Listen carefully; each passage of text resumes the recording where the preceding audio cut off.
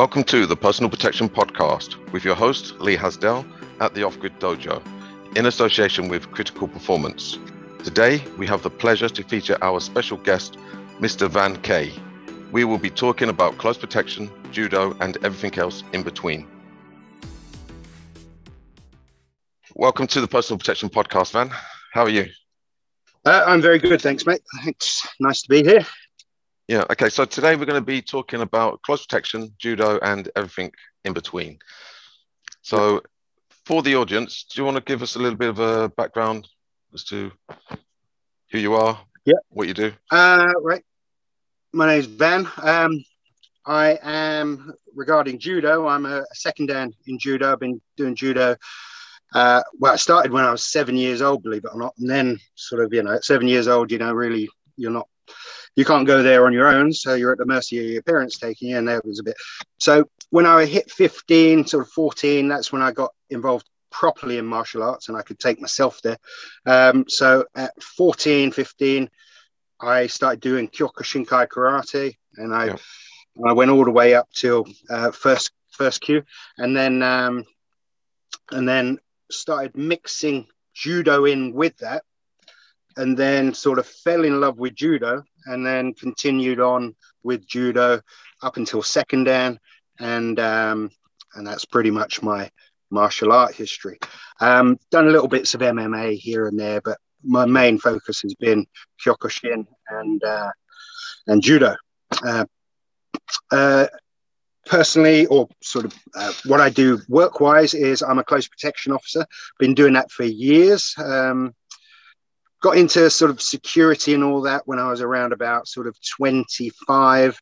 Um, started off, believe it or not, bailiffing, and that was terrible. it was a horrible, horrible, uh, horrible thing to get into. Um, but that was my introduction to the sort of security side of things. Uh, from there, I went into sort of basic sort of security.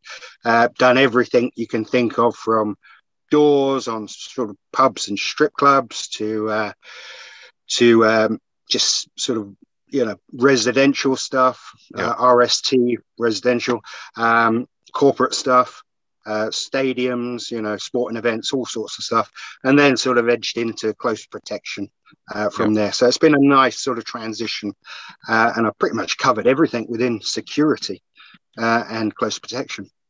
Yeah, well, I actually think for those that go into close protection, it's better to have a background of various types of security because um, close protection is a very big uh, umbrella, very similar to personal protection. It's kind of a big umbrella, and you could find yourself in all kinds of places. So, as an example, if you're doing close protection, you could actually find yourself in a nightclub or casino, mm-hmm. strip club. So, yeah. having a having some knowledge of how security actually operates in those venues to me is a massive advantage. Which, um, for instance, a lot of people also assume that if you're going to do close protection, it's better to have like a hostile military background, which for some instances it is, but for the most part, especially if you if you're working in say London or um, a, a, major cosmopolitan capital, uh, it's better to have experience in the type of venues that you may be attending. Yeah, uh, I, so, yeah, I agree hundred percent. Um, with me having a, a, you know, I remember when I was doing my CP course years ago, um, sitting around, a, sort of sitting in a classroom with all the guys there, and they were sort of, you know, it's getting into the physical sort of, um, you know, signs, trigger signs, all that sort of stuff. If you've done doors, you know how to read people you sure. know so i i was saying to the guys there look you know go and go and get a little job on the in a bar or a club do the doors for a while and you'll yeah. pick up on all the little sort of you know insignificant to most people but you'll pick up on all these subtle sort of subtle little sort of nuances that people have before it all sort of kicks off as it were yeah. so you can really learn how to read people doing other things other than sort of sterile close protection where yeah. yeah 100% you know so it's better to get get out there and sort of you know get your hands dirty as it were and, and sort of try other things before you go into close protection because a lot of the guys i remember I remember them uh, sitting around a table and discussing this and that. Some of them came from um, you know, military backgrounds and all that sort of stuff, sure. and that's good if you're if you're going into hostile uh, yeah. and you're going to continue out there. Um, but yeah, for Civvy Street, when you're walking, like you say, in clubs and bars, restaurants, all that sort of stuff, you especially on Friday, Saturday night, you got to be able to read people, see yeah. see who's doing what, you know, who the who the noisy sort of rowdy person is. You know, you've got to be able to read the crowd, as it were, and yeah. uh, and that is a skill that you can pick up only when you're working in that environment. So yeah, get out there, do the doors first. You know, learn learn your trade, as it were.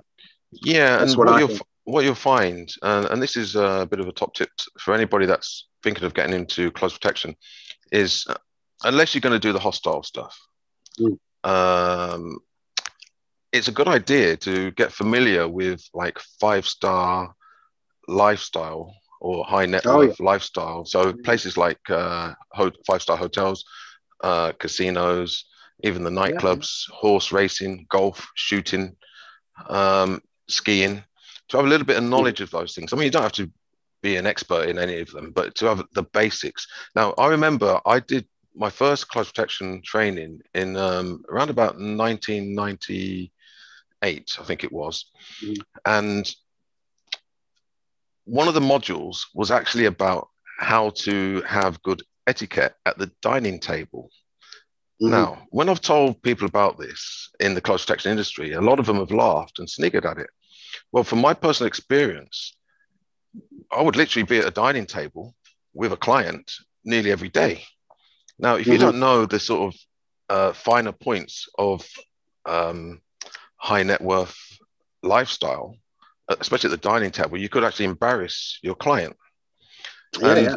I actually, over the years, I found that that module where they taught you how to actually um, be at a dining table, five star or or um, high end situation or scenario, has actually gained me a lot of work because I've not, I've never embarrassed the client in any way, shape, or form.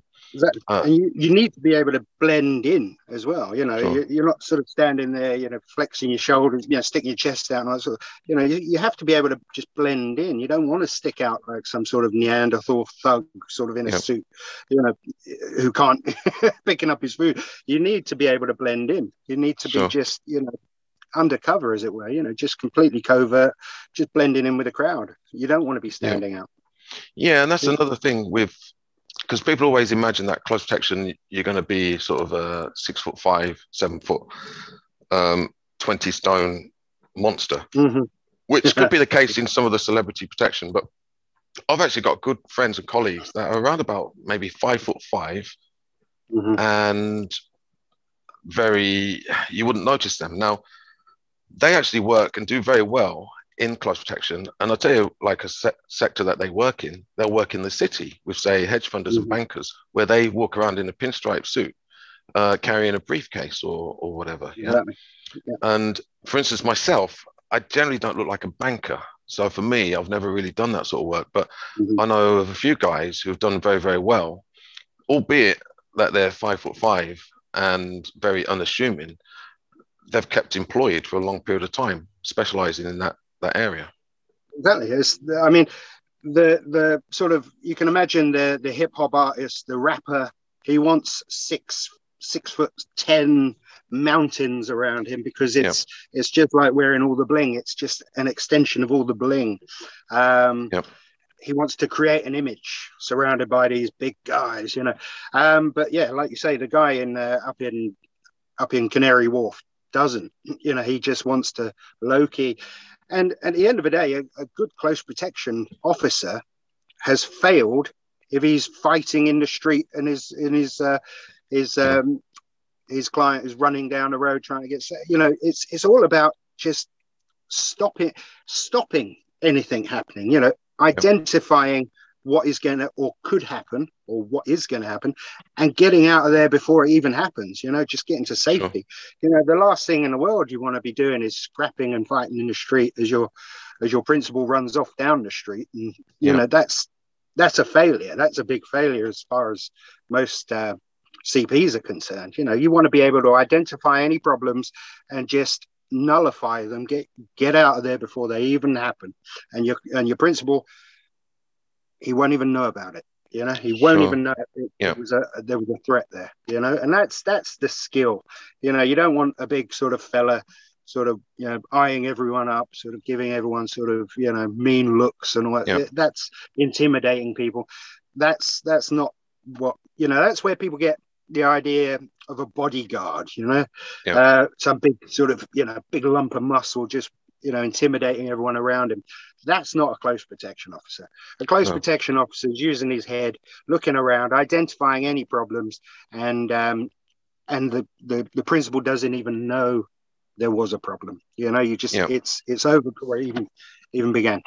Yeah. I, I always use yeah i always use the term in, in in fact in all forms of protection and security is that you you're basically proving a negative so yeah. your success is when absolutely nothing happens. exactly. I say this to all my, all my anyone I work with. I say the last thing you want is me to be busy. yeah. You don't want me being busy because if if me or the team I'm working with, if we're busy, then we're we're things aren't good. You know, yeah. you just want us there. You want us sort of dealing with things as they happen, but you don't want to know about it. You don't want us frantically sort of being busy. You really yeah. don't. You want us, you know, you want everything to seem calm and, and nice, you know? Then yeah. you know you do. It's, it's a bit like using your car insurance every time you drive your car. You don't want to use your car insurance every time you drive your car, you know? So it's the same with your security team. You don't want them busy, you know, you want them giving visual uh, deterrence and, and all that sort of stuff, being a visual deterrent if you need a visual deterrent. Uh, if not, then they're identifying problems and you won't even know they were there. You know, that's good skilled team. You know, that really is, as far as yeah. I'm concerned. You know, you don't want to be using your security team constantly. That's for sure. Yeah, and I use the term personal protection as a means to enhance life, liberty, and freedom. Now, this is something mm-hmm. that has to be factored in, with, even with close protection, because let's face it, if we really wanted full protection, then we wouldn't even leave the house. We'd have a, a, a fortress. We would have, if we did go out, we'd use a tank, and we'd have an uh, Apache helicopters um, escorting us, and so on and so forth. Yeah. Now, that is not necessarily the true meaning of close protection. Close protection is that you can create a um, a boundary uh, mm-hmm. that offers life, liberty, and freedom for the client. And that's another area that I think a lot of people misunderstand when it comes to, and, and especially those new to the industry, that you have to have a certain demeanor of demeanor of, of it, I call it tactical relaxation. So mm-hmm. although that you're ready to to spring and pounce to action, you, you can't be on edge around your client because at the end of the day, potentially you could be with your client 24 hours a day. Yeah. And the last thing they want, especially if they're a performer, it, yeah. or they have to, or they're an artist or something like that, they don't want somebody that's on edge around them. And no, no. yeah. So with personal protection and close protection, there has you have to factor in relaxation and downtime mm-hmm. and being able yeah. to switch off. Yeah, you yeah, you need to keep it low key, keep the atmosphere nice, everything. You know, you got to keep, yeah, yeah you got, like I say, you don't want to be on edge. You don't want to be using your team or who or just your CP constantly. You know, you mm. want it to be nice and flow, and yeah, you don't want problems. you want to, yeah. you want to be able to relax and keep your uh, your principal very calm and yeah, that's that's a good skill to have. As part of the soft yeah. skill set. Yeah. Yeah, definitely. Yeah, and I don't know what your training was like with regards to close protection, but there's, uh, I think for the most part, with the training, it's all about like preparation, recce's, triple mm-hmm. checking everything, blah, blah, blah. But in reality, boots on the ground with your clients, you very rarely get the luxury, um, especially if you've got a client that wants to, it changes their mind, which often, quite often they do. You know, they change their mind at the last minute. I mean, I, I could name yeah. hundreds of situations and stories where the client has just changed their mind at the last minute. Right. And if you're not suited to being able to think on your feet, dynamic risk assessments, things constantly mm-hmm. changing, you're going to really have a hard time in, in something like close protection. Of course you are. Yeah. Um, yeah. I mean, a good a good knowledge. Say if you're going out in London and you've never been to London, that's going to cause a you know an issue. Um, but if you have a good knowledge of the area and you know the good good areas and the bad areas and you know where the unsavory people might be hanging out you can sort of guide them but yeah yeah i mean you have to be able to like you say think on on your feet on the fly and um, constantly risk assessing dynamic risk assessments just mm. as you said you're constantly looking you know everything changes all things change in a dynamic environment as they say yeah. and um, yeah it's constantly changing. And even if you do make plans and you do your recce's and all that stuff you go back when it's actually going live and uh, and it's all changed anyway. So your plans are out the window you know? It's a bit so like podcasting. to, yeah you have to be able to yeah plan you know plan to fail fail to plan or you know. But you have to be able to adapt and yeah. overcome any little situation that that pops up as it were. Yeah. Okay. yeah, i've got a few questions i asked the guests and um, i don't ask all of them but there's a few uh, one of them is personal protection in the future now this can incorporate close protection um, but protect protection in general in the future. So, I mean, do you anticipate or have you experienced like within the last 18 months we, we're all aware of the um, societal changes and um, everybody's had to adapt and, and, literally pivot what they're doing whether it's business uh, family lifestyle occupation so on and so forth um, but from a protection perspective do you predict mm. there's going to be any, any major changes in the future uh, I mean, we can see it already uh, with um, you know cyber cyber crime, sort of online crime. That's that's going through the roof. You know, cyber crime analysts uh, are very well paid now at the minute. Uh, so protecting people's identities and and whatnot online is obviously mm. where it's really going. Um, but um, yeah, I mean, we've had what, a year and a half of lockdown. Everything is changing. I mean, uh, the a lot of the criminals are quite literally going hungry now. So the yeah. crime is getting more bold. You know, we're yeah. seeing lots of robberies in the streets and all that sort of stuff. Um, yeah, people having their front doors kicked in while they're at home and all that sort of stuff. So yeah, yeah I mean, they are getting bolder. Lots of more carjackings and motorbikes being stolen at, at lights, you know, traffic lights and all that sort of stuff. So things have ramped up a bit, and obviously certain uh, external environmental sort of reasons behind that as well.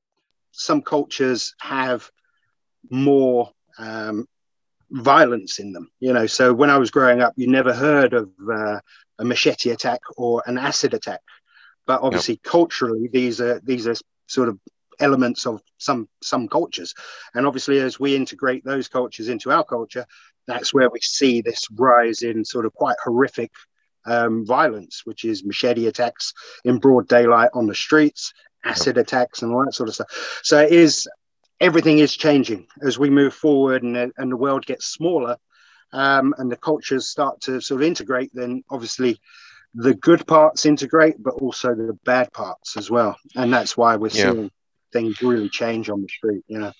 Well, one of the, one of the things that is key to personal protection and close protection is that you have to be realistic. Now, mm. because of say political correctness, I think unfortunately that leaves a, sometimes a bit of a, a big gap because people won't necessarily look at certain aspects um, mm. of, of, societal change. So, as an example, um, maybe a couple of years ago, I actually did a task in central London, and one of the main threats was the acid attacks. Mm-hmm. So we had to adapt. So we all carried water. We actually all carried eye protection. Yeah. Uh, now that's something that we never really done before, prior to say two years ago. So in our everyday carry, we'd have bottles of water, eye protection, and even for the dogs because we were using dogs yeah. because um, the gangs they weren't scared of the police, they weren't scared of security, they weren't scared of street wardens. The only thing that the only two things they were scared of was potentially was immigration and um, dogs. Yeah. So it was a new initiative, and we brought the dogs uh, into the game, and that was a big game changer because uh, they didn't come anywhere near us. But mm-hmm. the point I'm trying to make is that we had to start carrying as everyday carry eye protection, water. Yeah. Because yeah, what the gangs were doing, they would approach you and they'd have a, a cup like this. And we didn't know if it was water or acid, but they'd stand there mm-hmm. looking at you. So this um, could have been a gun. Mm-hmm. Uh, but the the weapon of choice for them was a cup with liquid in, uh, yeah. under the assumption that it's acid. Now you don't really want to find out, and it's a no. definite threat. So what they're doing is they're walking up to clients and um, basically demanding their watches, shoes, iPhones, yep. so on and so forth. And um, the threat was acid, or it could have been water, but nobody really wanted to find out. Yeah, yeah, you didn't want to test it. know. Um, yeah, yeah it, that's that's how it's changed. You know, it really has. And like you were saying, unless you want to lock yourself in in your in your fortress, you're going to be outside. You're going to be getting out of your cars and all that sort of stuff. And that's where things can things have changed and you're you're being carjacked and all sorts of stuff. You have, like you say, your phones and mobile phones and watches taken off you, everything. And yeah, someone wielding a machete or or a little bit of liquid in a cup. You just don't know. But the game yeah. has changed. You know, yeah. it really has. So, um, so that's yeah. So, so let, let's let's link up close protection and judo. Now, for those who don't know, I'm a big fan of judo. I actually practiced judo in 1996 for two years, and I've, whenever I've been working away and I've seen a judo club uh, locally, I've always popped in. I always make sure I take take my uh, training gi with me, and um, whether it's Brazilian Jiu-Jitsu, uh, Sambo, um, or um, Judo or Jiu-Jitsu, uh, if there's a local club, I'll often pop in and get a bit of a workout because um, you'll know about this when you're working away, especially in close protection or any type of security, training can go down the pan very quickly if you're not yep. careful. yes, it can, yeah. yeah. So, yeah, for those who don't know, I'm a big fan of judo, and there's a number of reasons why I'm a big fan of judo. And I'm sure you'll you'll agree and probably go into into a greater detail than myself. When it comes to doing security and um, especially close protection, you can't really be punching the bad people um, no. because a lot of close protection is centered around the media. And even without the media, everybody's got a smartphone. You've got CCTV everywhere. And uh, if you're not careful, you could get yourself into a lot of trouble, or you could get booted off of a task because you've injured yeah. a, a, journalist or a paparazzi or something. So judo yeah. to me is is the perfect I mean, the, the meaning of judo is the they call it like the the gentle art or yeah, flexible way. Yeah, the gentle way. Yeah.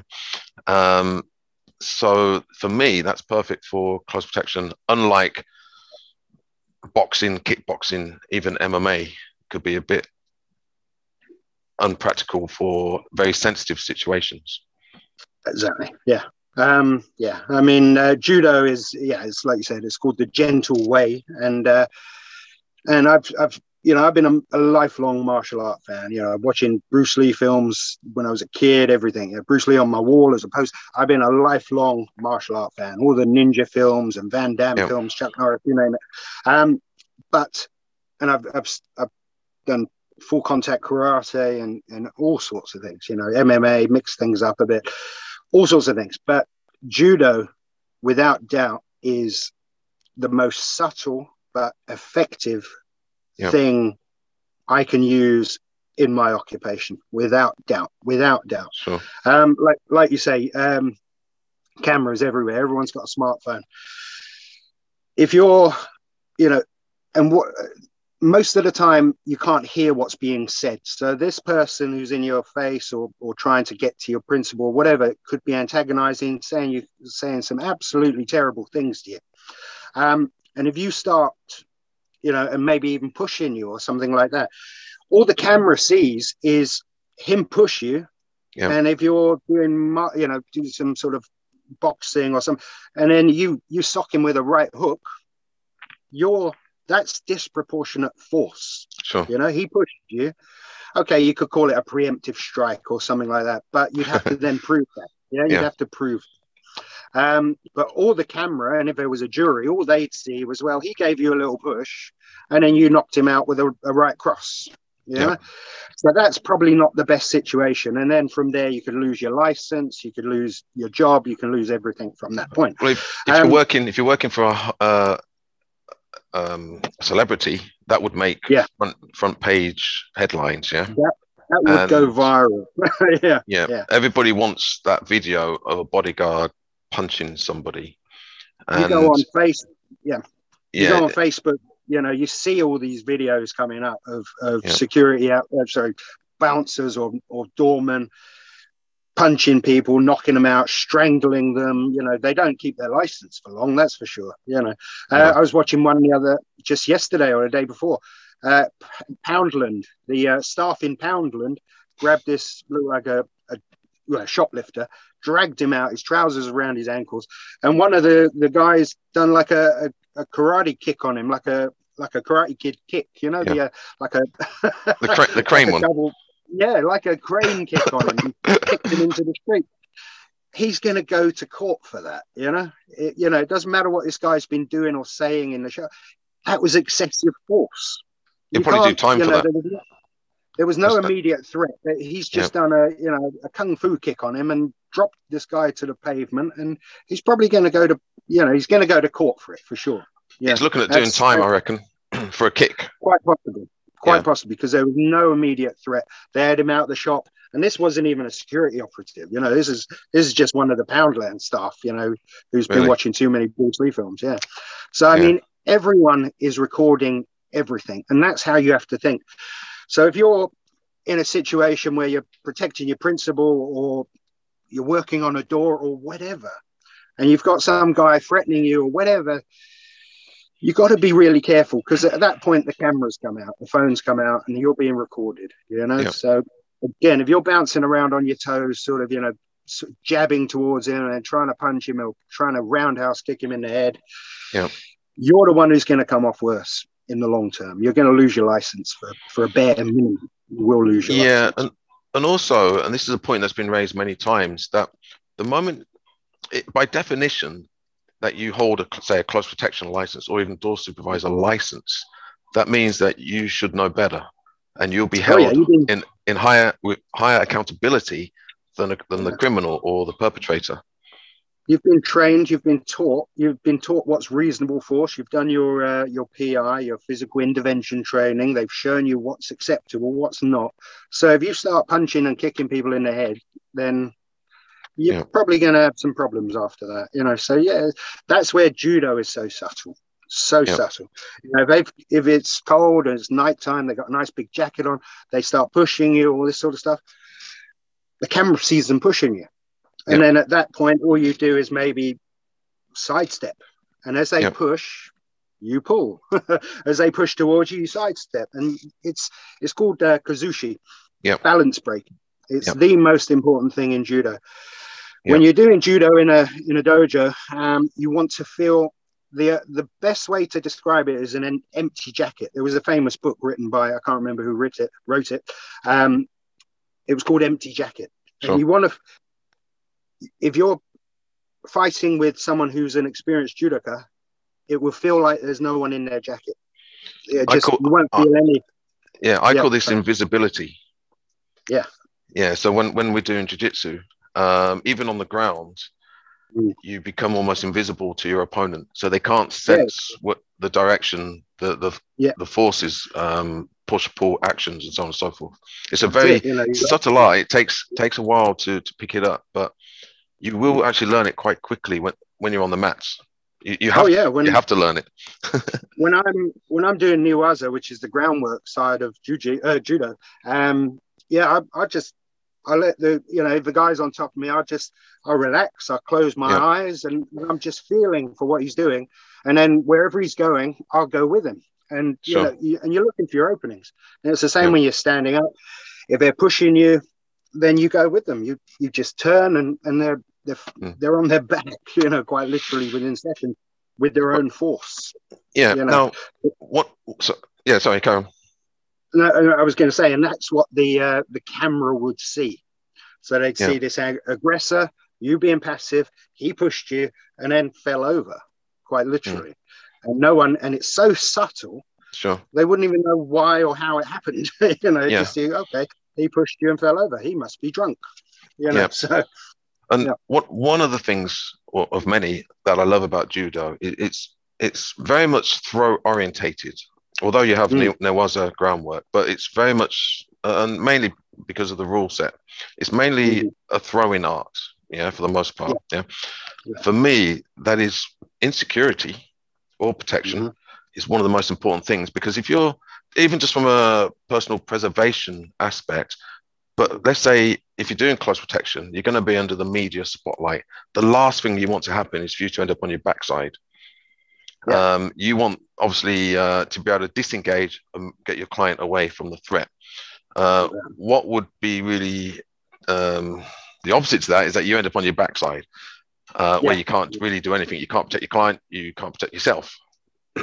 Yeah, and if you're yeah. on the floor in in some sort of street fight situation, well, you probably got a couple of his friends trying to kick you in the head as well. Uh, you know, so yeah. the floor is the last place you want to be. In a Brazilian yeah. jiu-jitsu tournament, you might want to go to the floor, and you see the guys. It's it it it's not my favorite thing to see where you got two guys standing and then one drops onto their backside sure. and pulls the other one onto. That isn't what you want in a real life no. situation.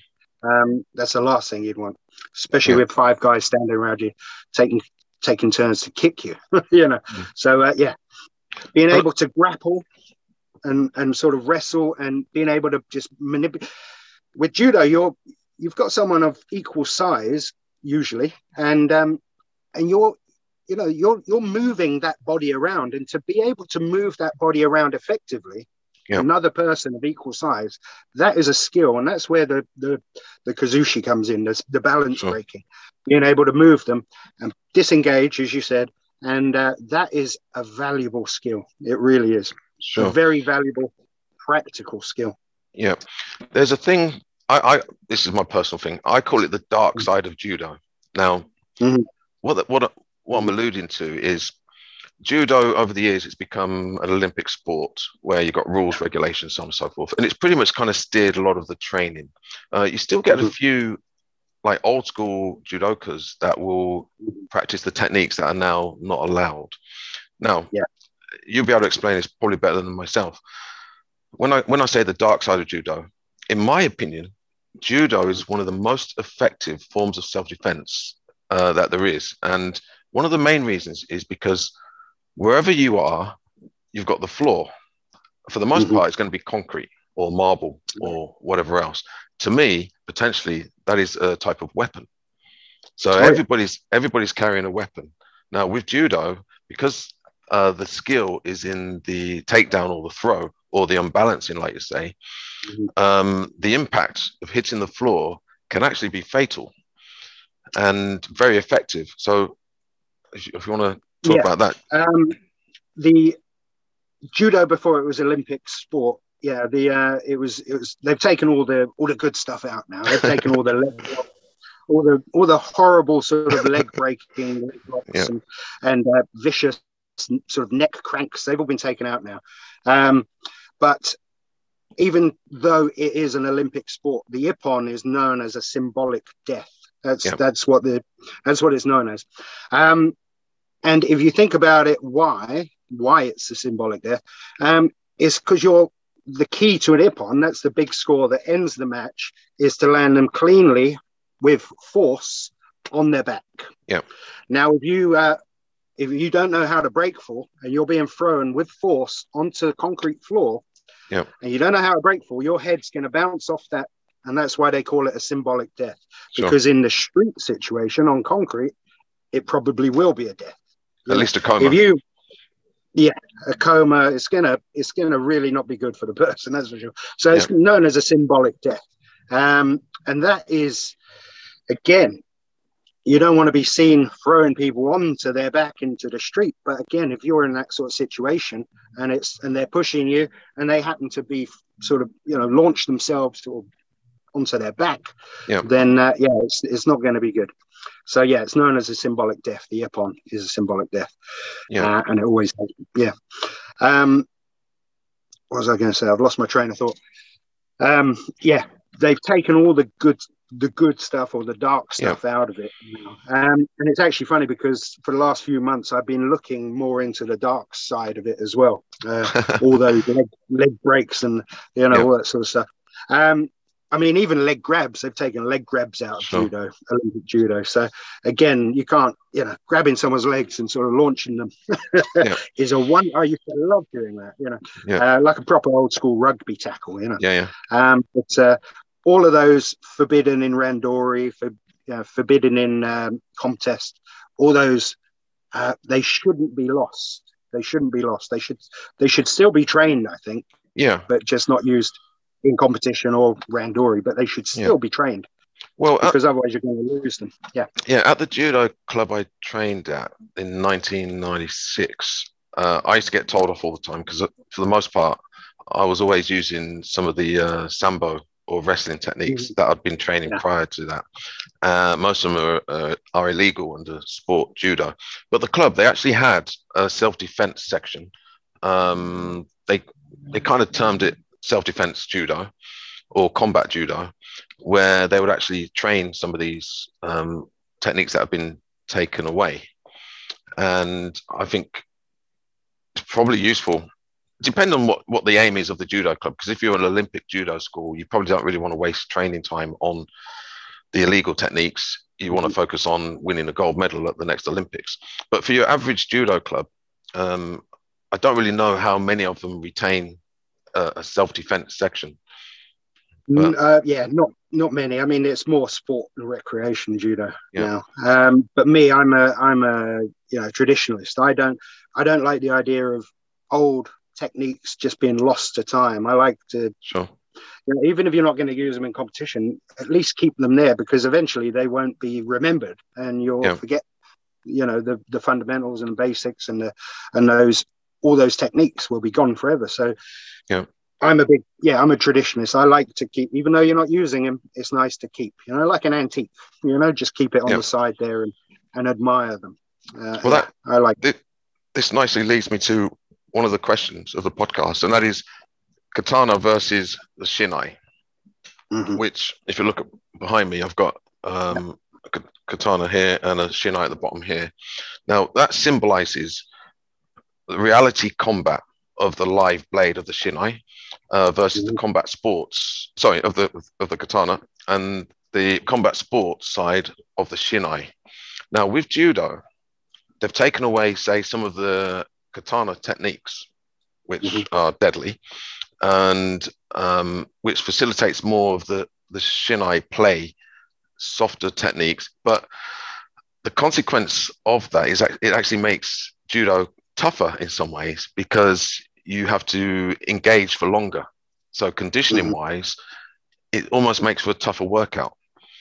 Yeah. So, uh, what's your sort of views on the sport side versus reality side?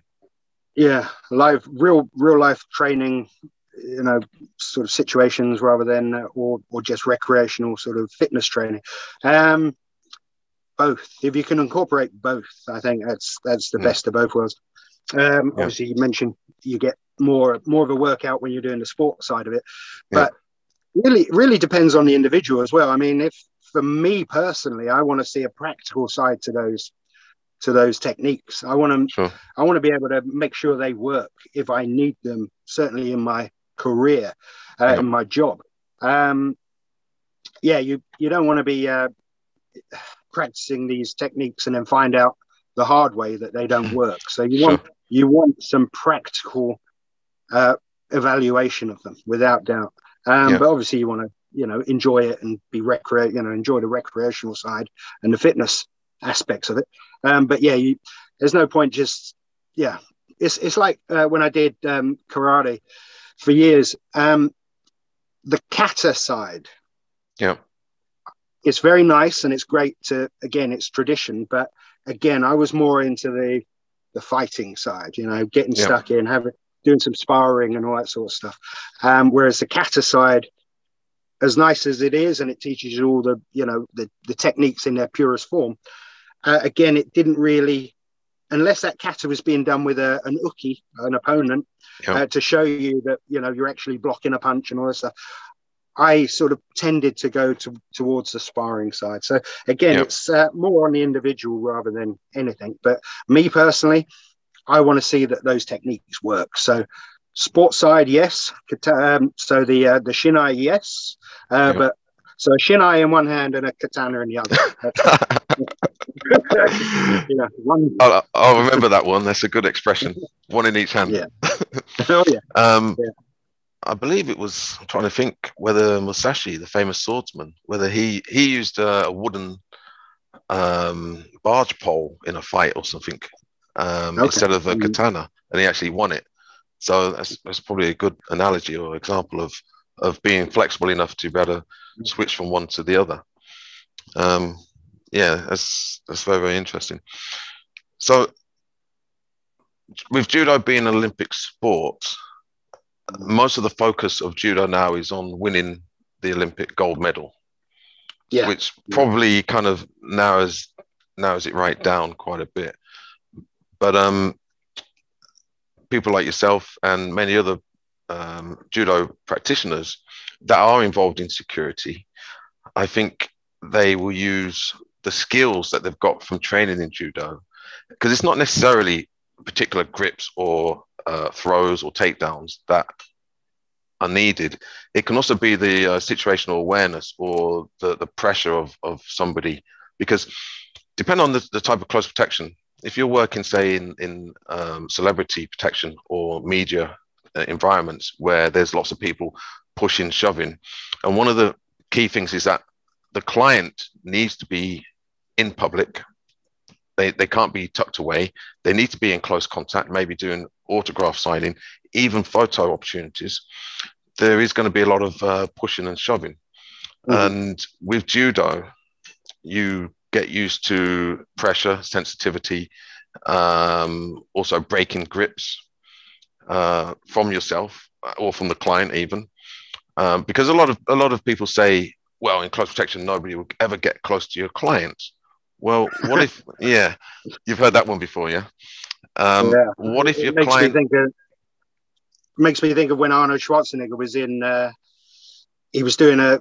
Well, he was in South Africa, and out That's of nowhere, yeah. this guy came running over and kicked yeah. him in the back. And, yeah. Like, and his uh, his team was standing around him, sort of looking at each other, like, "What just happened?" Yeah. I mean, you just never know what's going to happen. So oh. to be able to um, control that person's body weight and get them out of the way if you saw it happening. I mean, you can never plan for everything, but uh, I mean, that was quite yeah. a freak, uh, freak occurrence. But yeah. yeah. but they got to him. You know, they got to him. Yeah, and you know Arnold Schwarzenegger was actually in a public place, uh, surrounded by mm. people. There's lot, lots of hustle and bustle, things like that, which mm. is very common. You know, even if your client wants to go on a shopping trip, you know, they mm. go to um, um, central London and walking down the streets, so on and so forth um, for the most part, they actually want to be. It's in it's in their business interest to have people take photos of them being seen out oh, yeah, shopping, yeah. leaving a hotel, yeah, going into a restaurant, coming out the gym. Yeah, so so it's a real double-edged sword with close protection, and, and, this is where I think a lot of close protection or um, people that are thinking about doing close protection, there's a lot of misconceptions because they kind of figure that it's um, all or nothing type thing. When in actual fact, there's such a grey area with protecting the client because remember, it's about uh, life, liberty, and freedom for the client, and they have to make money, uh, or else they can't pay you. And their way of making money is to be in the media spotlight. Uh, and like I say, this is a very uh, difficult area for the close protection officer to manage. Yeah, again, I I think it really um, again, I think martial art play a lot into this. Martial arts play a lot into this. It's having that martial mind, believe it or not. It's like you say, you yeah. know, business, anything. It's it's looking at life in a certain way, looking at situations in a certain way. You know, you don't mm. want to be. It's that warrior in the garden, um, all that sort of stuff. Yeah. You don't. You want to. You want to have or peace through superior firepower is, is what I like to say as well. Yeah, um, you want to be able to have everything there to deal with every situation, but you don't want to deal with that situation. You hope Yeah. that situation will never arise. And if it does, then then you have to adapt and, and deal with it the best you can. But yeah, ultimately you want your client to be able to go shopping and you don't want to impend on his or her you know you don't want to impose on his life you don't want to No. lock him away you know you don't want to protect him over protect him you know all that sort of stuff Sure. he has to be able to live his life normally and you Yeah. don't want to be there you know like a big dark shadow looming Yeah. in the background he has to be able to live his life or her life just normally and like i said originally you don't want your security to be used you don't want it to be but it is there if needed you know Yeah. and that's it. that's the key really it's getting that balance between protection but also liberty and and Yeah. freedom to, to live your life as as free as you can It's like a physical a physical client- Yeah. policy.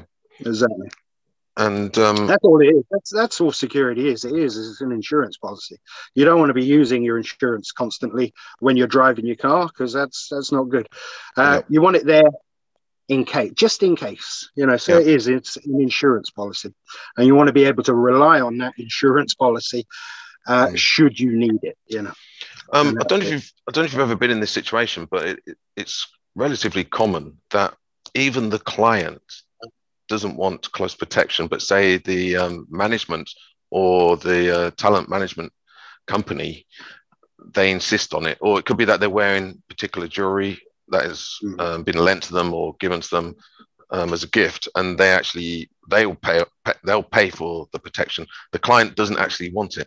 In many cases, that's the worst type of client to work for.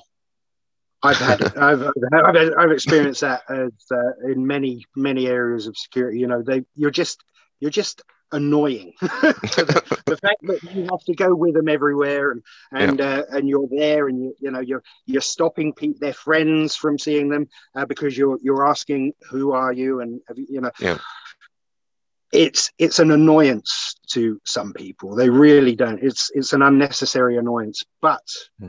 It's an unnecessary an annoyance uh, until they need it you know and then you're Yeah. the best thing in the world you know so uh, i've had that happen as well where they they really don't want you there they don't want you around you're a pain in the ass to them Mm. uh, and then something happens and they were glad you were there you know and Yeah. they they sort of and you see that turn in them as well that switch in them where they hated you before but now you're good friends you know and they like you so Yeah. um, yeah i've seen that happen as well So, or Is it- that when that happen is it fair to say that there's a definite link up between judo or the martial arts, close protection, and personal protection? So, instead of you looking after a client, you apply the same principles to looking after yourself and your own family.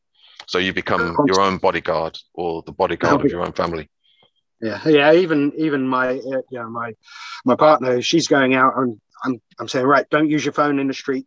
If you are using your phone in the street, put your back against the wall. And uh, you know, I'm I'm constantly telling you, uh, thinking for her, you know, just be careful if you see any scooters going past. You know, put your phone away. Have your phone, uh, your bag across you, and all this sort of, you know, just Yeah. constantly, you know, keeping her on her toes as so she doesn't she doesn't become a victim to Hmm. some idiot on the street. Um, but yeah, constantly. I mean, uh, it's you can't turn it off. You can't turn it off. You're constantly doing uh, risk assessments when you're going into a restaurant or a bar or a pub or whatever.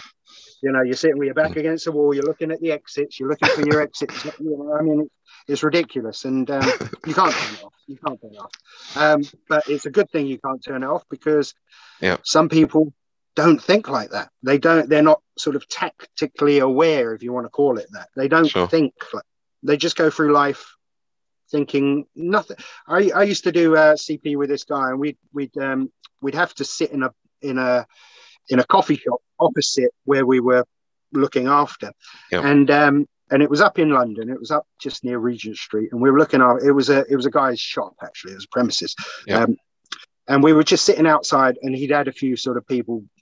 You know, trying to get in there and what so, uh, Yeah. you had to ring the bell again. Anyway, so we were always stationed across the road in a coffee shop, and we just sat there drinking coffee all day, pretty much. But it allowed us to analyze and people watch. You know, just see Yeah, yeah.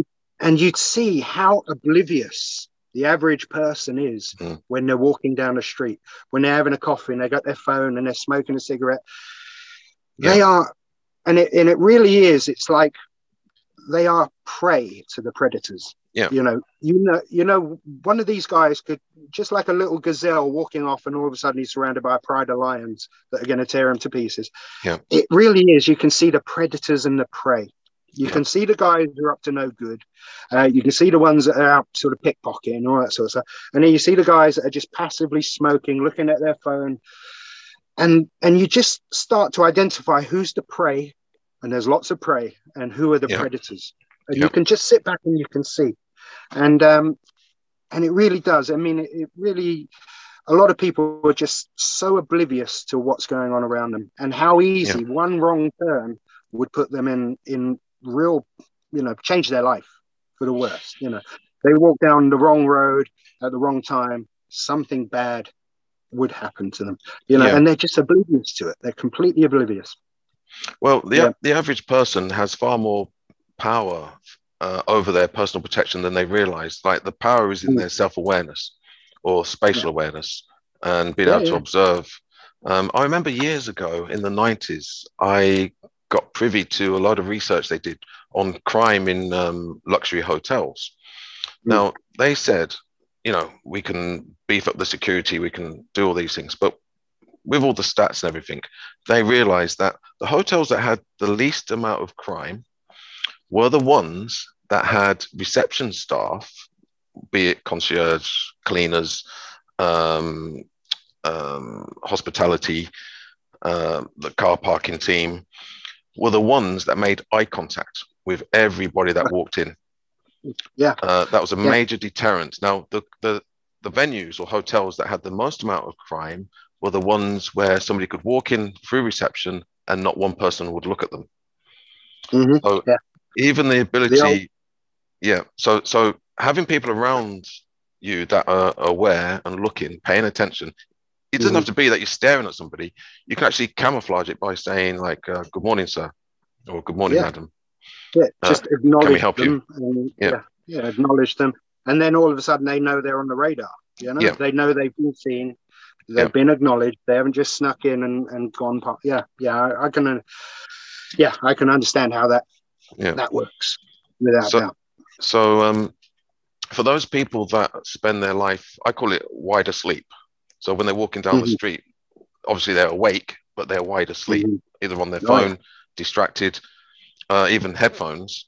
Uh, headphones is a big one because you can't hear anything. You're listening to loud music. You can't hear, uh, and your senses are ten- your peripheral vision is is is closed down.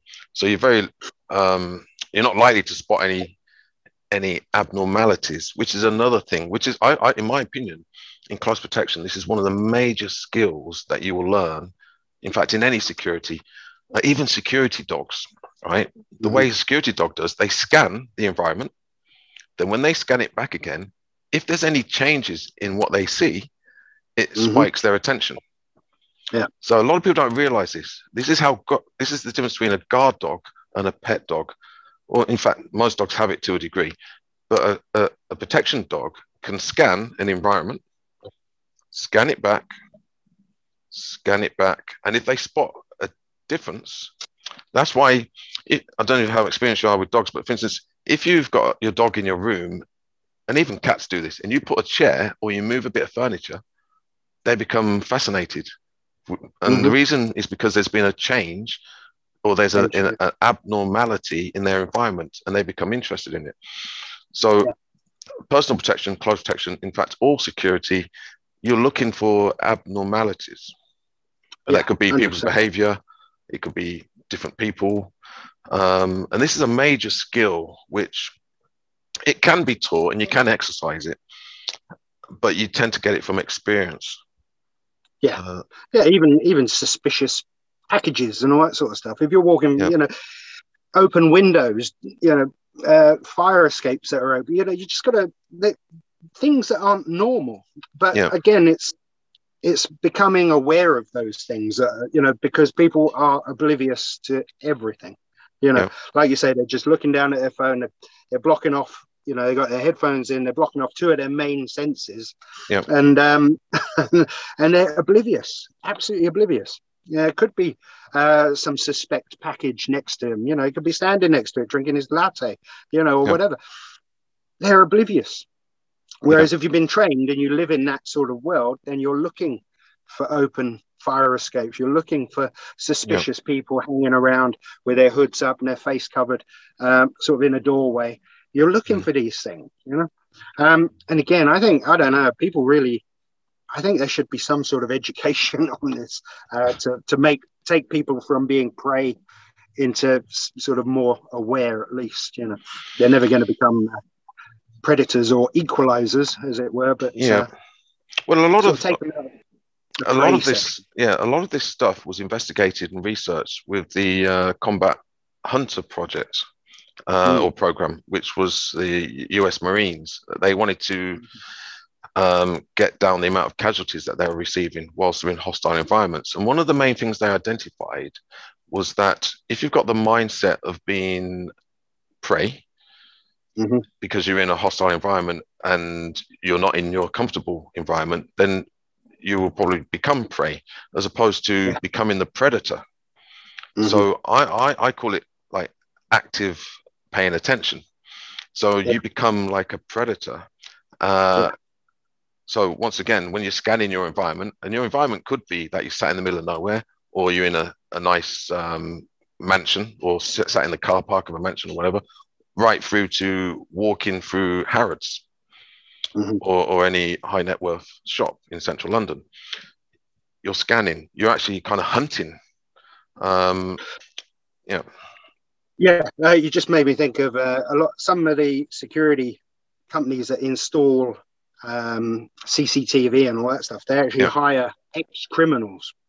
Okay. They hire ex criminals to say, right, what do you think? Where are the weak spots? Because yeah. they're not thinking how to protect; they're thinking how to attack, get in, yeah. how to attack. Yeah, and um, I think that that's again that probably. Um, sorry, my phone's going off. So Um, that probably um, comes down to that whole martial mind.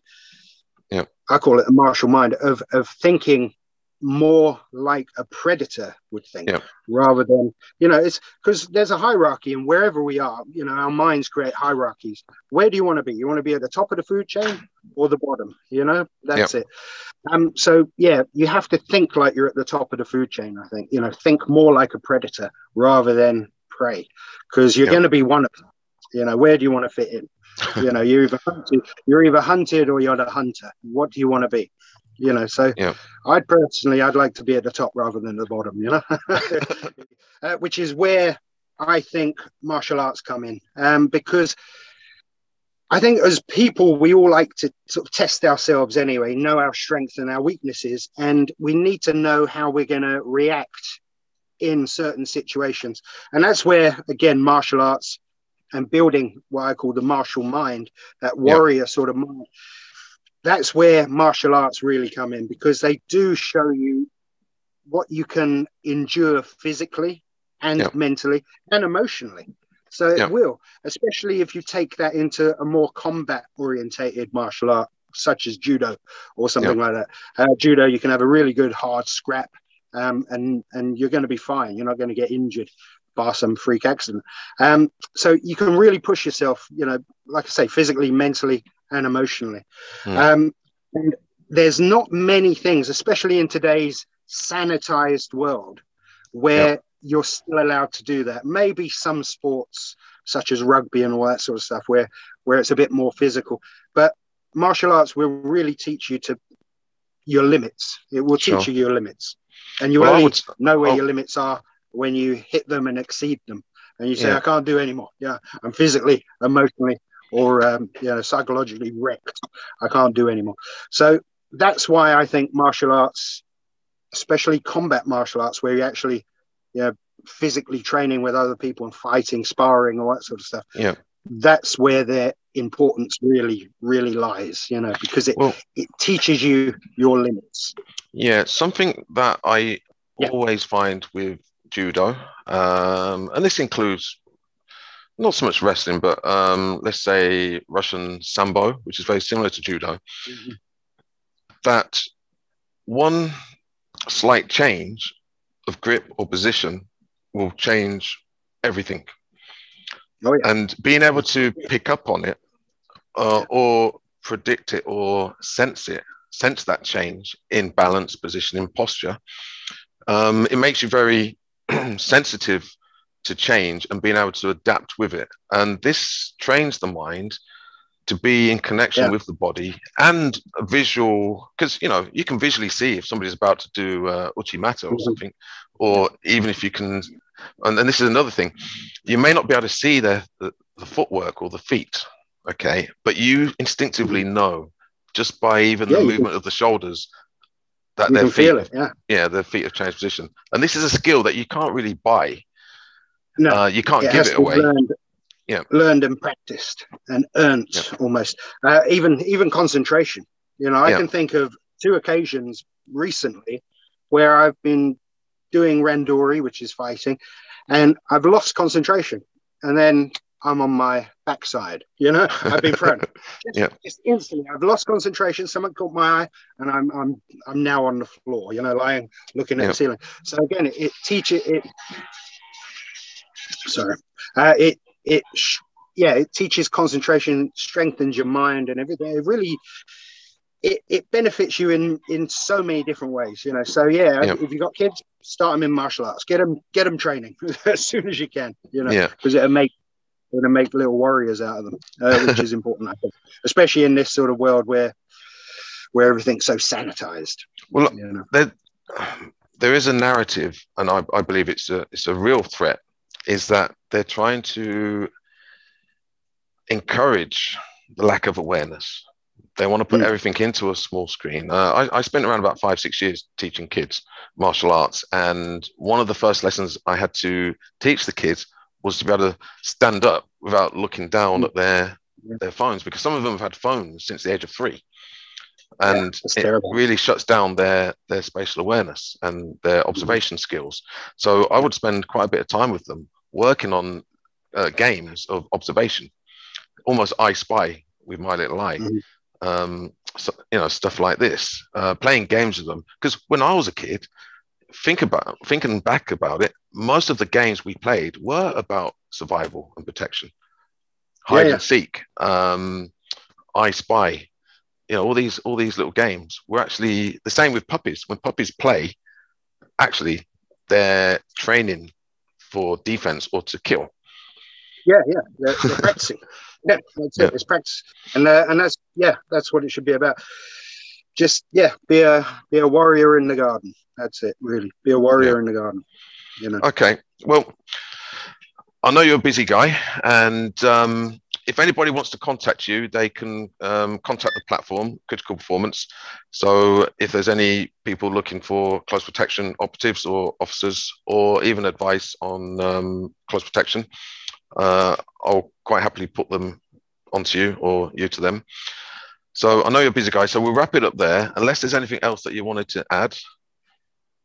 Um, we pretty much covered all of the questions that I was going to ask. If I didn't ask the questions, it's because you've already answered them without me asking which is always okay. always a nice thing. Um, but it's been great having you on the podcast, and you're yeah. welcome back uh, later on at any stage. And yeah, if there's anything you want to add to the conversation that we just had. No, no, it's been fun. Um, yeah, it's been fun. I wish you all the best with the podcast, and uh, hope it goes from strength to strength. And uh, I look yep. forward to uh, seeing some more episodes with other guests on, and I've I've watched a couple already, and uh, yeah, they're good, they're very good. So yeah, good luck with everything, mate. Okay, thank you very much, and take care um, when you're doing your protection. And oh yeah, self-preservation. That's the, uh, golden rule: self-preservation. yeah, excellent. Yeah. Okay, take care, sir. Thank you very much. Take care. Whoops. See you later, mate. Whoops.